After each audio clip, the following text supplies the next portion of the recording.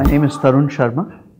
I am a VP of R&D at BMC Software and I head up BMC India operations and I'm also the executive sponsor for our operation in Ukraine which is a relationship with GlobalLogic. Our relationship with GlobalLogic is roughly about uh, three years old. The biggest thing that you do for us is around product development. Specifically, your center in Ukraine is known for consumerization of IT. So BMC is very big in innovation on the front end and the new IT. That's where you guys play a very important role. There were many criteria in picking GlobalLogic.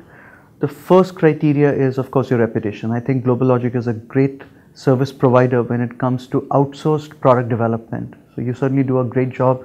Your clientele is really impressive. Your work is really impressive on that front. The second important criteria is that uh, you're right sized for BMC. So there are many service providers, but we felt like do, you have to do business with equals and you were absolutely the right size with the right set of capabilities for us. We do a lot of software development in India, in Israel and the United States, but we were looking for a fourth location where we can find a lot of bright people at the right price and Ukraine stood out in that uh, front and you guys had a very strong operation in Ukraine so that's where we decided to work with Global Logic and uh, set up an operation here. What I most value is that Global Logic behaves like a partner more than a vendor. And it is true for BMC as well. I think BMC has been a great client for Global Logic because we do not think of you as a partner slash vendor. We think of you as an extension of our R&D organization. So the relationship between us is very tight.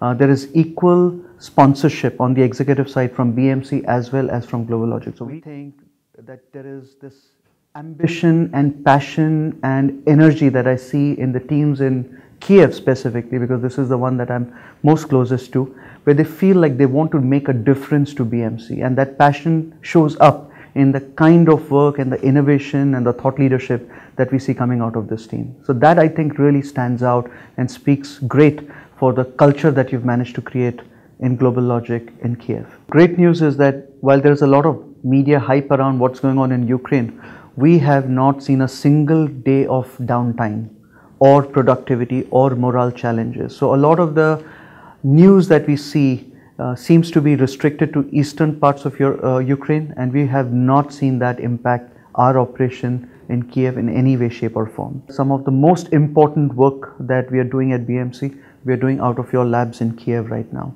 Whether it is a new product that we are taking to market or whether it's the innovation engine for incubating new products called the incubator that's here in Ukraine. When you look at some of our new platforming projects that we are doing and uh, modernizing our technology, a lot of that work is getting out of Ukraine.